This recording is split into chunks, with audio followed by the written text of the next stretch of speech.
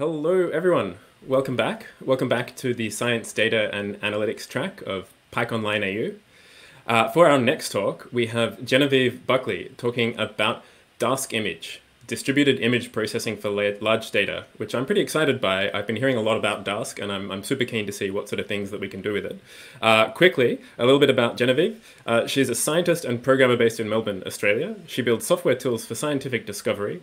Her interests include deep learning, automated analysis, and contributing to open source projects. She has a wealth of professional experience with image processing and analysis, analysis spanning X-ray imaging, fluorescence microscopy, and electron beam microscopy, and she is a maintainer for the Dask Image project. So take it away, Genevieve. Thank you. Welcome everybody. It's fantastic to be here. Uh, I'd like to acknowledge uh, the people of the Kulin Nations whose land that I'm uh, speaking to you from today and pay my respects to their elders past, present and emerging. As Ned said, the project I'm going to talk to you today about is called Dask Image. It's a project for distributed processing of large array data. Uh, my name's Genevieve. I'm, uh, yeah, as Ned said, a programmer and a scientist based in Melbourne, Australia, and maintainer for this project. So, who needs a project like Dask Image? Well, if you're somebody who is working with array data and you're using NumPy a lot um, and or like the SciPy n-dimensional image functions and you find that you're running out of RAM or hitting that kind of a ceiling, then Dask Image is a project that's built for you. There are two main cases with uh, distributed image processing. Uh, there's a case of batch processing where we have um, maybe uh, a lot of uh, different images where you want to apply the same kind of analysis or processing steps to them. This might be something like uh, video data where you have a lot of individual video frames or um, something similar like to that, where the processing that we do on the first image frame really is totally independent and has nothing to do with what we do to like the 10th image frame. The second and slightly more complicated um, option here as a use case is where we have data that has a really large field of view. And this is a little bit trickier to handle because while we might be able to do uh, things like chopping our data up into many small tiles and processing each of them separately, uh, it becomes a bit tricky uh, in the joins and the gaps. Uh, we want to be able to uh, have a bit of overlapping happening at those edges so that we don't get strange edge effects. So these are the two main use cases where it's really helpful. Um, we certainly might find uh, in the second case, the large field of view, that RAM is certainly an issue. In the first case, maybe you're sort of squeaking by because each of the single images uh, aren't particularly large, but if you're putting that in something like a for loop, it might start being a bit time consuming and just kind of dragging, dragging you down. For a couple of uh, different scientific motivating examples, I just want to show you here um, that the kinds of data, array data we can use with Dask are really, really broad. We have from the very, very large, um, on the left, I have uh, an example of some Sentinel satellite imagery uh, being shown in the NAPARI image viewer. And this covers like hundreds and thousands of kilometers on a very regular basis. Uh, right down to something at the very other end of the scale, uh, so very, very small, over here we have um, some fluorescent image data, uh, microscopy of individual neurons within brain tissue. So there's a really wide variety of kind of applications for these techniques. So if we want to get started, um, we have links to our documentation page uh, from the GitHub Dask Image project, and you can install Dask Image from CondaForge or from pip, uh, whichever your preferred package manager is. We have five different sub packages within Dask Image. Uh, the first is imread uh, for reading in image data.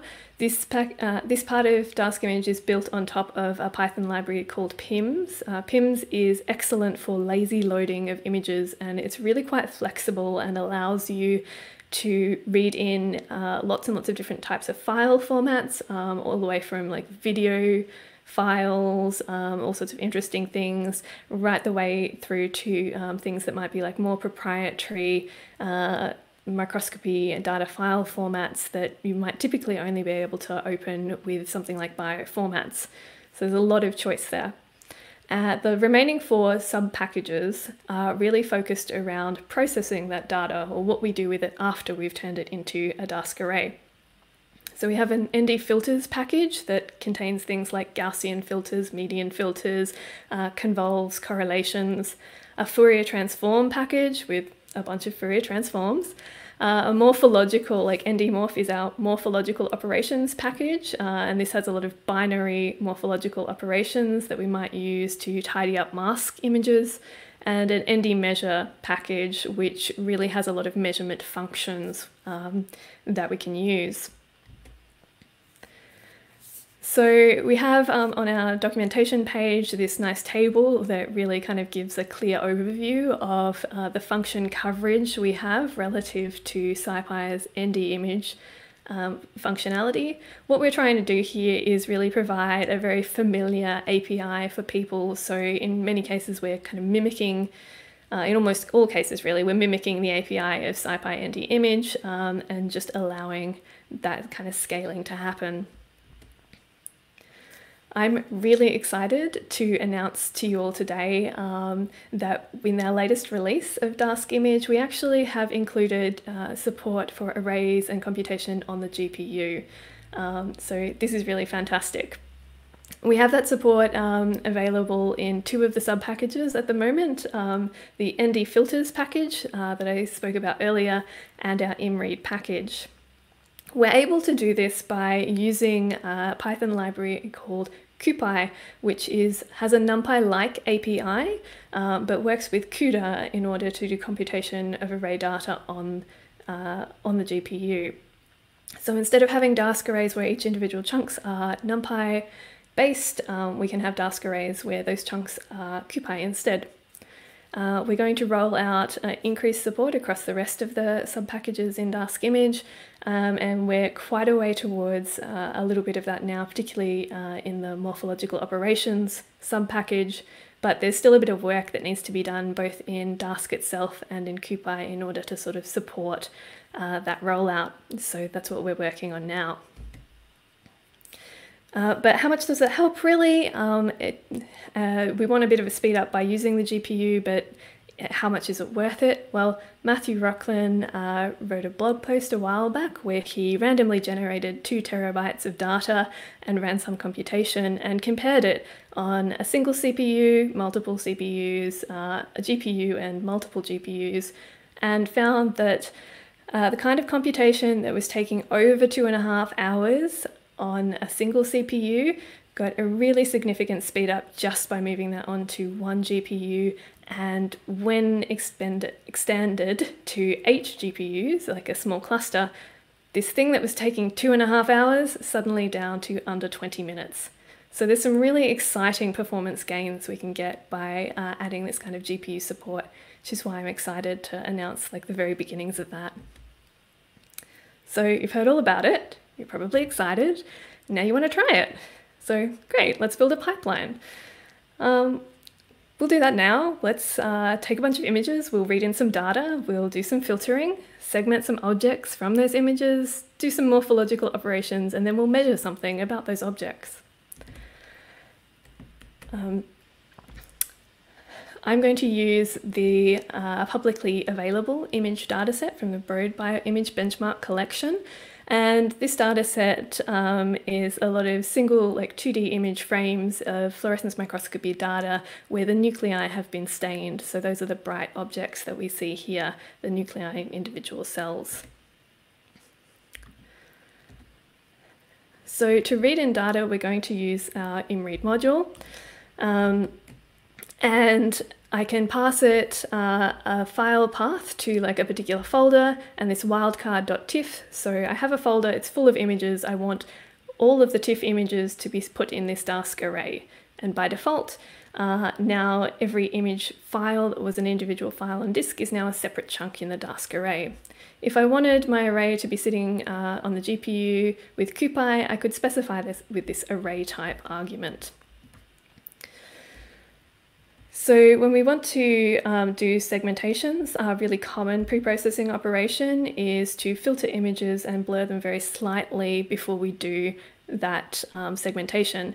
This just means that we usually end up with like nicer, smoother um, edges to our masks, and it's uh, just a really kind of useful first pre-processing step. I'll use a small Gaussian filter from the ND Filters package, and um, we can do that here. Now, in order to segment um, objects from the background, we could do something um, that's just like an absolute threshold and just say that, say, everything below this threshold value, it's part of the background. Everything above it is something that we uh, think is part of the objects that we're interested in. It's maybe easier to talk about this if I show you this. So I'm going to open uh, the Napari image viewer and show you what that looks like with our data set. So here is the data set uh, that we're looking at um, with that fluorescent nuclei data. Um, a lot of different image frames, looking very interesting. Um, and if I turn that off and just look at this threshold image that we've produced, um, we can see here it's looking pretty nice, but actually one single threshold is not fitting all of these images. Some of them look all right, some of them less all right, some of them really terrible. So you know what? I think we can improve this. So maybe something that's going to work a lot better than a single number that we expect to work for everything uh, could be using a local thresholding method. And so we have one of those available, which is great, uh, and we might want to try it. So with local thresholding, uh, what you do is essentially you choose a method and you choose a region uh, or a spatial area that you want to kind of apply this to.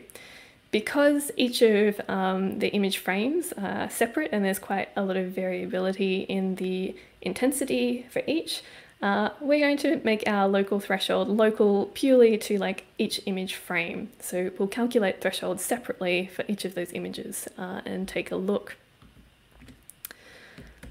So we'll do that. Let's, let's load it and see.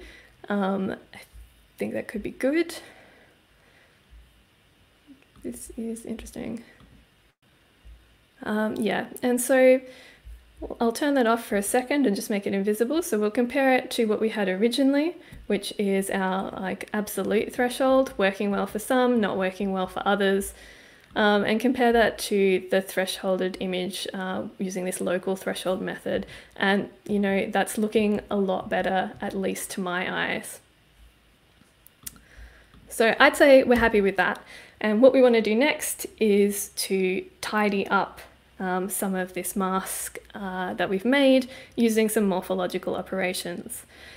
Morphological operations are maybe a little bit weird to wrap your head around if you're not using them a lot. Um, so I'm going to just take a moment um, and a few diagrams from the OpenCV webpage in order to just talk through some of the concepts here.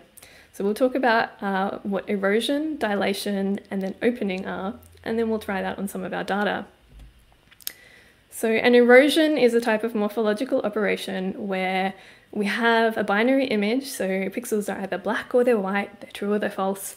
And what it does when we apply it is eat away at the edges of, of those objects in the image. Um, so we can see that it looks like everything's kind of shrinking around this letter J. A dilation is the opposite operation, essentially. So uh, instead of shrinking away at the edges of an object, we're expanding that object out. It's kind of blowing up a little bit like a balloon.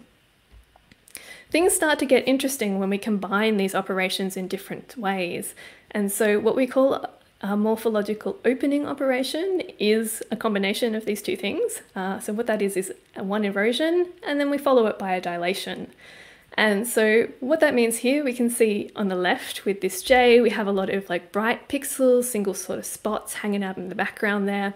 And if we do an erosion on this image, um, what happens is that if the uh, bright spot in this background, if it's smaller than the structuring element that we're using for that erosion, it'll disappear and become completely black.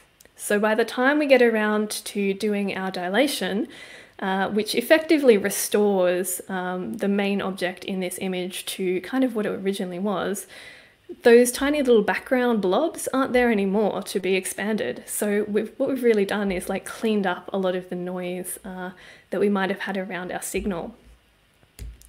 So I think we should uh, try one of these morphological operations. We'll do a binary opening on our mask image. And because all uh, Dask image operations are n-dimensional by default, what that means is they're going to assume that whatever Dask array you hand them is all like one thing. And that's great, but it's actually not strictly true in the case we have here. In the case I've shown you, uh, every, uh, every image frame is kind of separate, but we're storing them all in a single Dask array. So what I've done uh, to get around that is just be kind of careful about the structuring element that I'm using in this case, where I have uh, what the default 2D structuring element is, and I've just bookended that by uh, like zeros on either side. So that means when we do this processing, um, each image frame is kind of counted individually. So fantastic, we have almost our pipeline complete. What we're going to do now is measure something interesting about those objects that we've segmented, now that we're happy with it. So just in the interest of keeping this demonstration nice and quick, um, I'm probably going to just measure a very small subset of the entire data set here. We have hundreds of images in this like fairly small example data set, but each of those images really does contain uh, like maybe around 100 nuclei each on average. Um, so now that we're moving from what was uh, operations happening on the whole images to operations that need to happen on each individual object, um, we're just going to like cut down uh, the size of our data that we're actually doing this on um, so that we can see this in a reasonable amount of time. So in order to measure these objects, we're first going to have to create a label image from the mask that we have. And what a label image is, is uh, if we take a mask and we look, it has a lot of bright pixels and then a black background and some other bright pixels. Each of those individual isolated blobs are labeled with a different integer value. So this means we can separate what um, which pixels are part of which objects uh, in a really kind of easy and identifiable way. So we're going to do this just for the first couple of frames. We can see even there we have like almost 300 um, nuclei that are being picked out. And what we can do now that we have a label image is actually uh, make some measurements on each of each of the things that we've labeled. I'll just show you first before we do that what those labels look like, just so we have a bit of a sense of kind of what we are doing, but maybe not. Maybe Napari has had a little hissy fit. Um, all right, so, so this is our label image, um, and kind of this is what we are um, going to, going to use. Alrighty. So the very last part of our processing pipeline is to use those labels and use the original images and we want to measure stuff about each of the labeled sets of pixels that we have. Uh, like I said earlier, we have a lot of different uh, uh, measurement functions available in our NDmeasure package. Um, and we're just going to pick a handful of them today. We will measure the area um, in pixels of each of each of these segmented objects. And we'll also measure uh, like the average intensity for each of those as well. And that would be something that's like uh, fairly straightforward, fairly common uh, to do in an image processing pipeline. So I'm gonna go ahead and just like plot some of this data. Um, remember that up until now, we haven't actually run our computation. What we've been doing is constructing the Dask task graph, which is essentially a map for, okay, this is what computation I want you to run when, um, but hold off on actually doing that until I tell you to um, which is a really fantastic way to be able to then um, kind of seamlessly kind of move between like a, an analysis you might do on your single laptop up to uh, being able to just scale that out over something like a supercomputing cluster or onto um, like a very sort of wide range of compute resources. But now when we actually want to see what the data is, um, this is, and I want to plot some of this on a graph, it's going to do two things. It's going to run the actual computation and then plot the results. So I'm just going to make a graph here um, and we might just show something that's, um, say, a graph of area in pixels along the x-axis compared with, on the y-axis, um, the average intensity uh, in each of these nuclei. So I can see here that maybe this is something that I would more or less expect. There's a lot of clustering uh, in this region here, um, so a lot of a lot of cells looking very similar with similar brightnesses, similar sizes. Um, a few different outliers um, in different different places uh, that may or may not be unexpected that we could sort of dive into, and it gives us a, a lot more kind of information. If we were running this on a really, really big data set, uh, maybe we wouldn't want to plot every individual point, uh, but at this this stage, uh, now that our pipeline is finished, we might do things like uh, put that data into a data frame or run aggregate statistics or um, do something else for our analysis. So the full pipeline is maybe just a little bit too long to show on this single uh, image slide, but it is honestly quite succinct. Um, and the real benefit here is that, um, unlike, say, an analysis that has a bunch of nested for loops, it really allows you to very easily inspect intermediate stages and just intermediate portions of your data without having to run the whole thing or run a lot and then stop at a particular point. Um, so this is this is really huge. So that's great. But what happens if you want to do something that isn't included in Dask image? Well, if you're using scikit image, uh, which is very typical for a lot of image processing people, you can use their apply parallel function. Um, and what this does is essentially give you a nice way to put your data into um, a Dask array and use map overlap. You can use map overlap from Dask or map blocks directly yourself. Uh, which is what we do in Dask image. Um, that's what our functions are based on. Or if you want like a lot of flexibility around what it is that you're doing and a lot of fine grained control, then you can use the Dask delayed decorator as well. When you want to scale up your computation um, from a laptop to say a supercomputing cloud, uh, the Dask distributed library um, is what lets you do that. And you can uh, import like a client, set up a cluster. Uh, it's all very easy, happens at the start of your file. So fantastic. Um, so if you want to get started with Dask Image or try some of this out, um, you can install it with Conda or pip. We have our documentation available at Read the Docs, uh, and you can swing by our GitHub page uh, to check that out. Uh, I'm happy to answer some questions here, maybe, uh, maybe even in the text in the chat later on. Uh, I hope this was interesting and informative for you. Cool. Thanks so much for that, Genevieve. That was great. Um, yeah, we do have time for one or maybe two questions. Um, one from Jeff. In the CPU to GPU performance shootout, is the GPU using 16 or 32-bit floating point precision? If you happen um, to know. I don't happen to know off the top of my head. Um, I can shoot you a link to that blog post by Matt Rocklin, which may or may not have the details in it. Um, and if it doesn't, I think maybe Matt is the person to ask. Cool, cool. Um, and does a uh, question from Claire? Does opening change the main object? Like, for example, smoothing the edges. Yeah, so it definitely can, um, particularly, uh, so this J that we had drawn has a lot of like loops and things that are closed. So if your object is like very um, convex or like a sphere or something like that, you don't often see a lot of difference if you run an opening or you run a closing. Um, but if you have um, like bits where edges are maybe a bit like uh, like a very involved coastline or they're curling back on one another, um, then you can actually start to see differences happening there. Cool, cool. Um, there's one more question I'm going to um, uh, I'm to.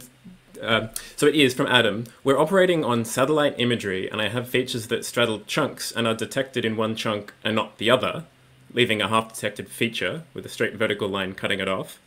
If these operations are performed on a per chunk basis, are there approaches that can be taken to prevent strange artifacts at the chunk boundaries? Um, yes, there are approaches. No, I don't think this is a solved problem uh, at all. It's certainly something very challenging. Um, I'd be interested in talking to you more about it. I think I'm more interested um, than like the one or two minutes we maybe have left here. Um, it's, yeah, like I said, it's there are approaches you can take. It's not a solved problem entirely, um, but it's fascinating, and I'd really like to talk to you more about it, particularly uh, so that we can maybe see if there's easy ways we can support this kind of use case better uh, in Dask Image. Yeah, cool. So it sounds like there's a discussion to, to, to continue on in Venueless. Oh, for sure. Uh, just yeah. a reminder that we have both the um, uh, the the the um, uh, yes, the, the, stage conversation, and then we also have our, our science data uh, separate thread. So if it sort of goes beyond the length of, of, of the, the event proceedings, um, you can jump over there as well. Uh, so thanks again so much for that, Genevieve. That was great.